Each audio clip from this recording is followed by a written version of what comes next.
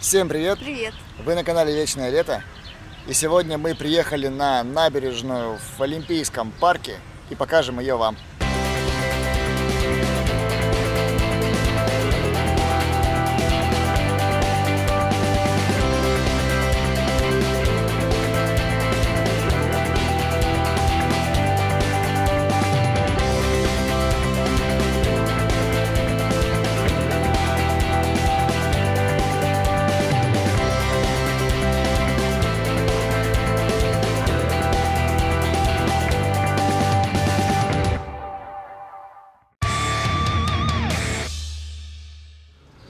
Вот так выглядит главная аллея по пути к набережной. Но мы уже здесь. О, привет.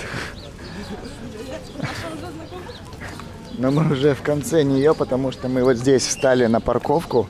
Парковка стоила, кстати, 200 рублей за целый день.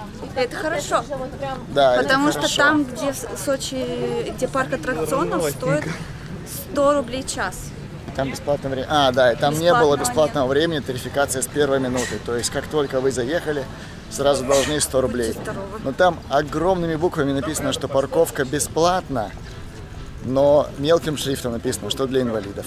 Да, это Так что- специально. Так что не купитесь на эту уловку. Мы тоже, когда ехали, смотрим, о, бесплатная парковка, заезжаем, а видим, оказывается, что это для инвалидов. И, и тарификация с первой минуты, и час 100 рублей.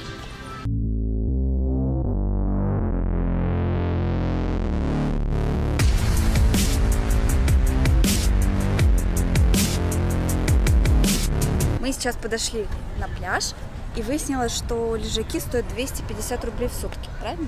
Ну, не сутки, а целый день. Ну, целый день. И вы можете уходить, потом опять приходить и показываете просто чек. Да. Не надо заново. Да, да. Здесь такое море чистое, да?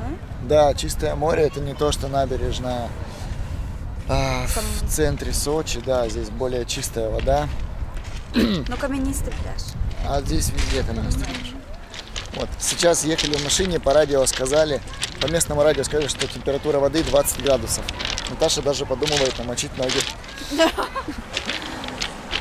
Ставьте лайки, чтобы она намочила ноги.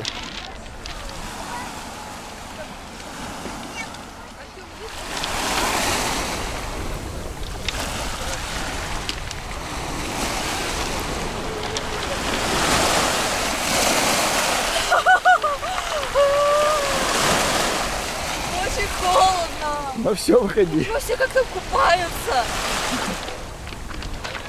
Это не Таиланд, да? Все, давай руки. Где? Где? А, медуза. Точно. Парни заметили медузу. Я, если честно, не люблю каменистые пляжи. Я больше люблю песочек. Хотя песочек постоянно везде забивается, но по камням мне удобно ходить. Вот. Но мне нравится звук, который на каменистых пляжах. Здесь прям чувствуется море, его сила. Ну, Камушки такие красивые. да, камни офигенные, красивые, но ходить по ним, конечно, очень неудобно. Это профилактика пластиков. А где-то вон там, на той стороне, у нас Турция. Людей на пляже пока не очень много, хотя сегодня выходной, но я думаю, что пока еще рановато, сезон только начинается. Так что это не удивительно, скоро здесь будет людей очень много, и я думаю, здесь вообще места свободного не найдешь. А еще видно, как взлетают самолеты. Мы же находимся в Олимпийском парке, здесь недалеко аэропорт, и здесь постоянно то взлетают, то садятся самолеты. Вид обалденный. Море, самолеты, олимпийские объекты. Круто. Мне здесь нравится. Красиво.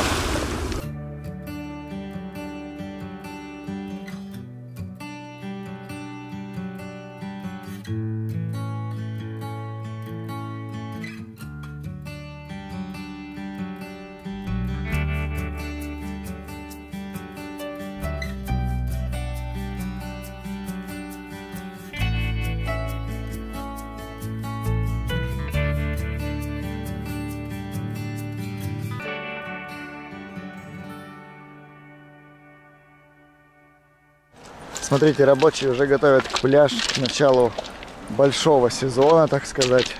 Выкладывают такие дорожки, чтобы комфортнее было ходить. Вон там я вижу переодевалки будут. А уже там кто-то переодевается. Спасательная вышка. Я слышал из новостей, что в этом году в Сочи на каждом пляже должны быть спасатели. То ли закон какой-то сделали, то ли что. В общем, э, будут спасатели профессиональные, там будет переподготовка их. Так что в этом году в Сочи должно быть более безопасно. И если что, э, профессиональные спасатели вам помогут. Да саму Памелу Андерсон привезут. Да. Нет, но это не точно. Афер лайфхак. Там в начале очень много прокатов велосипедов и стоит 150 рублей в час. Но если вы отойдете в бок, то там будет 100 рублей. Вообще сама набережная здесь очень большая. Вот тут есть дорожка для велосипедов, тут пешеходная дорожка, люди катаются. Проката очень много, как велосипедов, так и сигвеев разнообразных, гироскутеров, все, что хотите. Есть машинки, велосипеды, есть машинки электрические, на любой вкус. Куча кафешек здесь будет. О, какая девочка едет, ничего себе. Возбуждает. Да нет, она, она очень рискованно одета. И за ней, за ней целая свора пацанов едет и торопятся, короче. О, наш вернулся. Такой, оп. Прикол, развернулся и еще раз, и все за ней. Ну, конечно, молодец.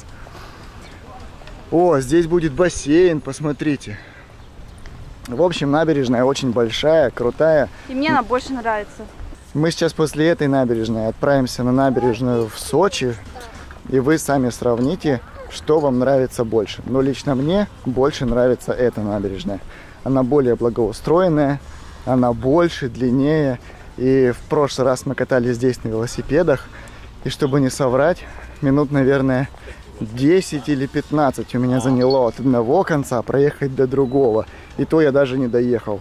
Ну и, конечно же, сюда вы можете добраться с Сочи на общественном транспорте. Это будет совсем недорого.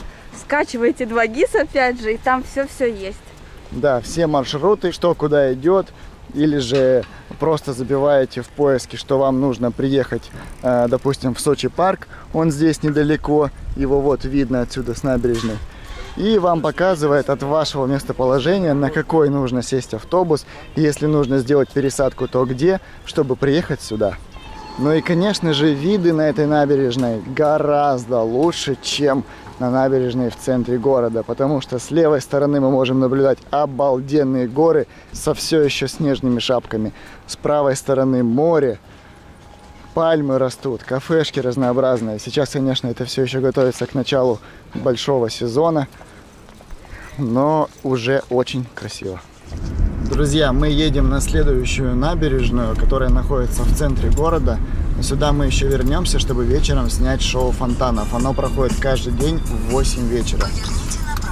А вот здесь находится въезд на ту самую парковку, которая стоит 200 рублей за целый день. Прямо возле набережной, напротив вот этого замка. Будете здесь, знаете.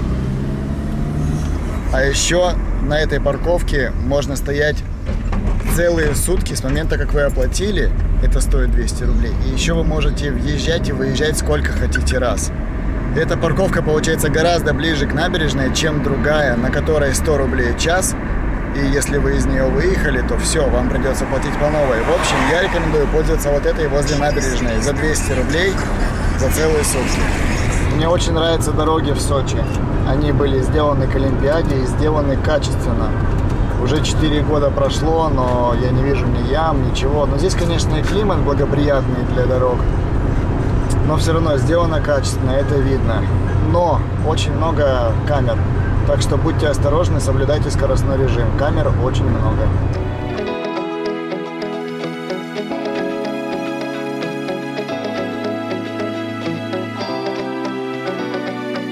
Друзья, мы приехали. Вот здесь автостоянка.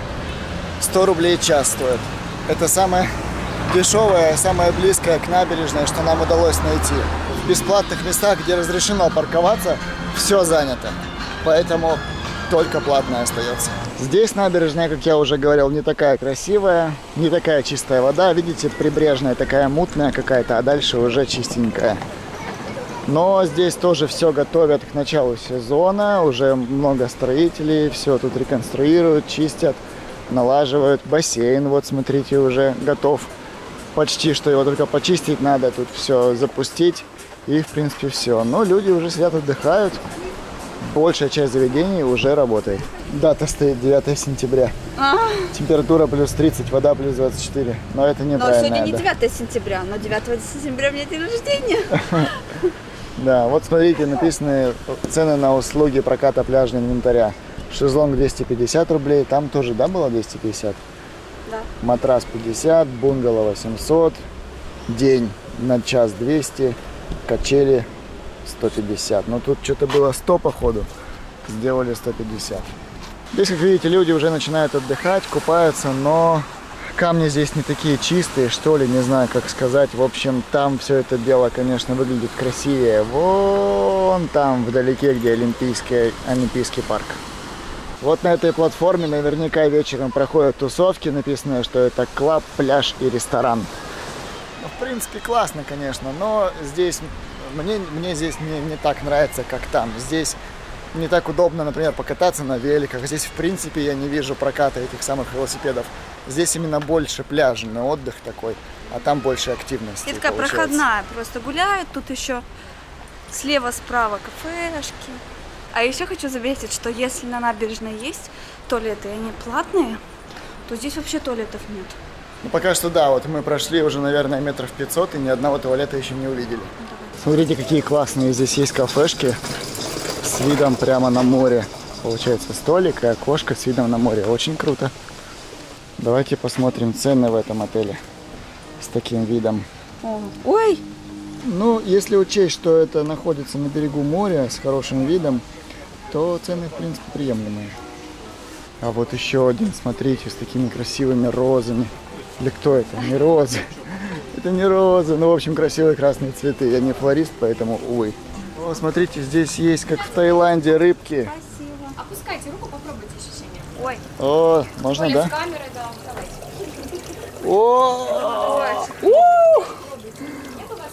обалдеть. Есть, есть. Тогда можно смыть.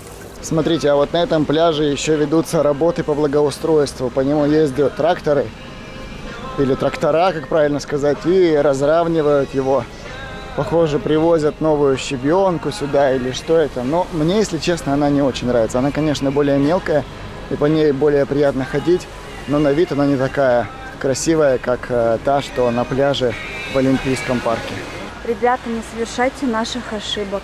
В прошлом году, когда мы приезжали с моей мамой, мы ходили в эту кафешку, называется Штурвал. И там очень-очень невкусно, и нас Дорого. там развели. Хотя рассказывала нам тут женщина на входе, что здесь лучший шашлык вообще на, на всем побережье. А вот смотрите, уже более-менее устроенный пляж. Выложена дорожка, стоят зонтики, лежаки, люди отдыхают. Классно. Но единственное, что на всем пляже, на протяжении всей набережной мы чувствуем запах краски. Потому что идут активные ремонты, благоустройства, и все это прям, ну прям пахнет краской. Все красят же, все ремонтируют.